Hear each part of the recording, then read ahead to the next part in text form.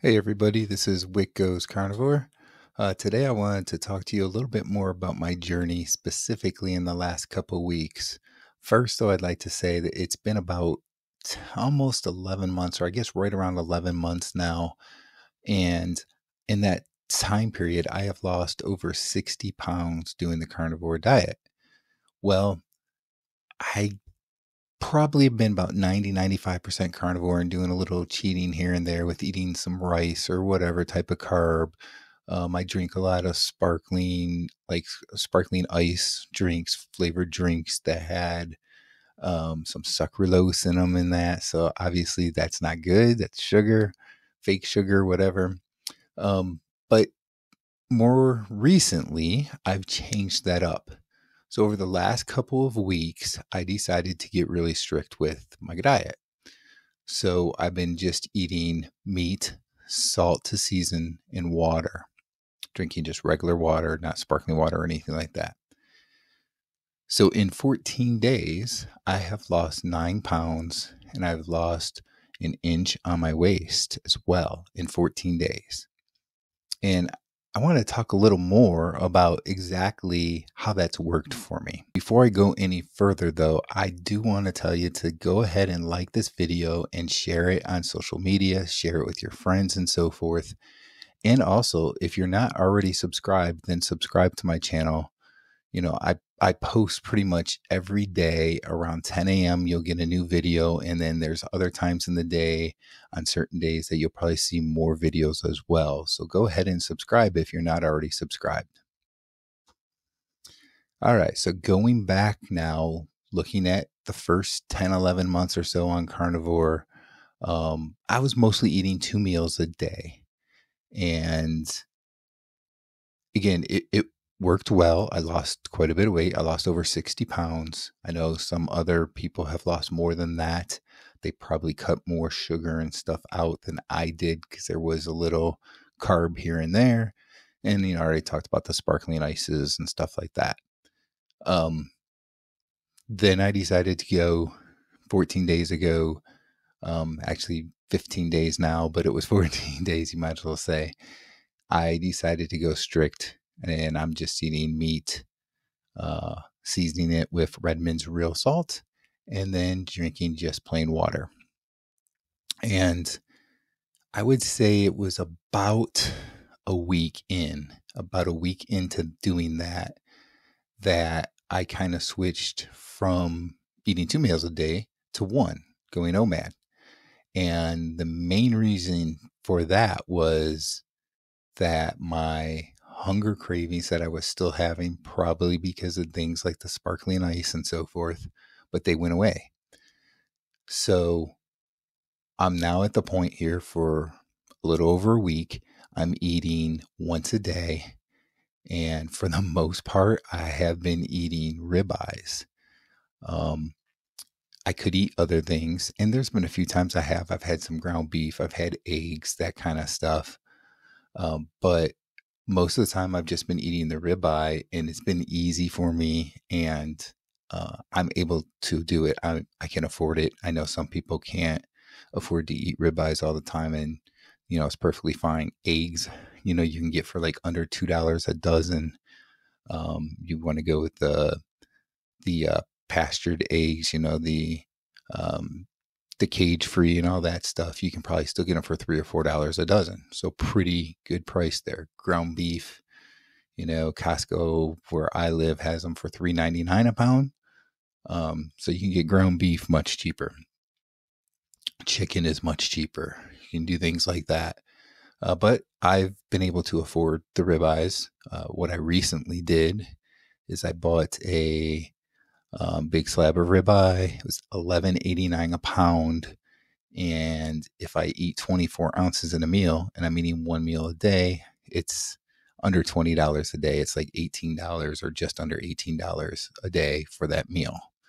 And I'm not eating anything else. I'm not drinking anything else, so I don't have to buy any, you know, flavored ice drinks or any of that kind of stuff. Bubblies. I was drinking bubblies before. I don't need to do any of that anymore.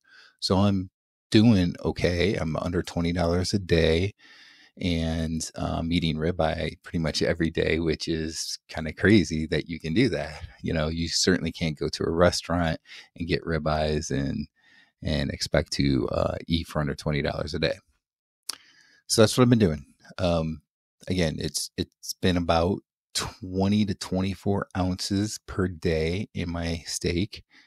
Um, a few times I've had more than that cooked up, and I couldn't eat really more than that I ended up, you know, saving the rest for leftovers. Uh, so that seems to be about the right amount for me. And for everybody out there, it, it's different, right? It depends. It, for me, right now, at this point in my journey, um, about 20 to 24 ounces of meat seems to be the right amount for me.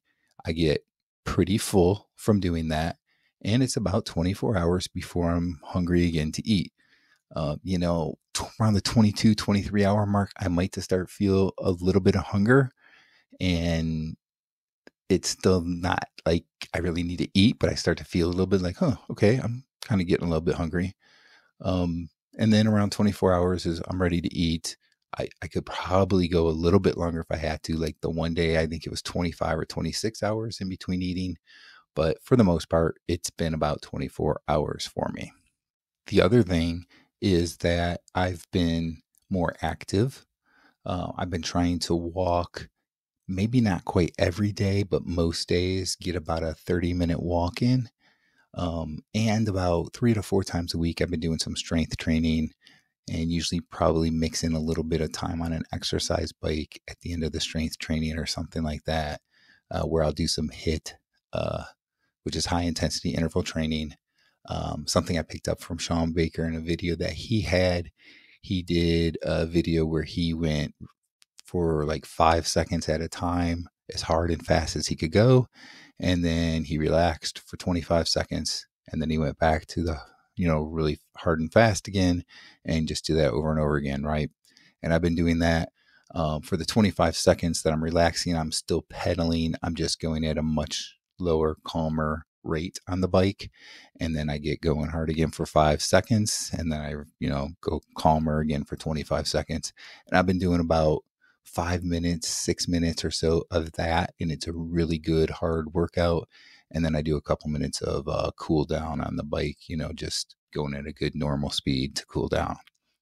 Uh, so I've been doing that as well as the eating um, with just eating one meal a day the pretty much about 20 to 24 ounces. So no more than like a pound and a half a day.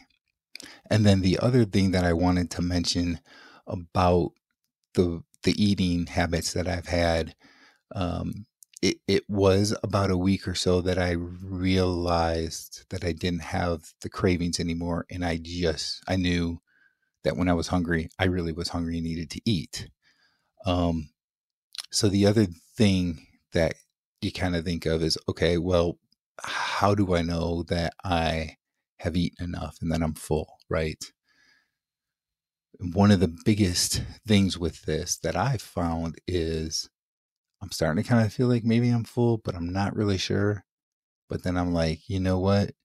The steak just doesn't taste as good as it did before. Um, like when I first started eating you know, it, it, tasted really good. I was like, you know, been 24 hours and I was ready to eat. Uh, but now, you know, it's like I'm 10 minutes in here of eating. I've eaten about 24 ounces. And it's like, yeah, it doesn't taste as good as it did. It's starting to get a little plain, a little bland to me.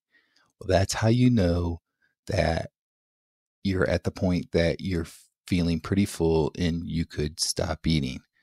Um, so that's kind of the things that I've been using to make sure that I don't overeat. I have heard that it's very hard to overeat, and I kind of agree with that. But you know, those are the kinds of things. Just the yeah, I kind of feel full, but also the steak doesn't taste as good right now. It's starting to taste more plain to me. That's when you know you're kind of full. You can stop at that point. And the way it's been working for me here, at least since I've been very strict with no carbs at all, has been that it's about 24 hours later before I'm ready to eat again. So I just wanted to share that all with you a little bit, how it's been working for me here the last couple weeks. And um, thank you for watching. And You know, I post videos every day around 10 a.m. And then certain days I'll get other videos out as well. But the one that I can tell you for sure is you can always count on there being a video at 10 a.m. Eastern Time every day. Thanks, everyone.